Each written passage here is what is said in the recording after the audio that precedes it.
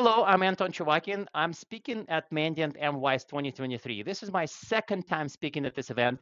And this year specifically, I'm much more excited about my presentation. The focus is helping security operations teams from companies that are new to the cloud confronting the cloud. How do you detect threats in the cloud? How do you respond?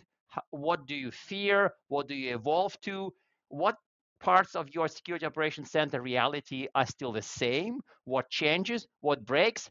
Come to my presentation to see how the craft of security operations and detection and response changes when you become more engaged with using cloud for business and IT.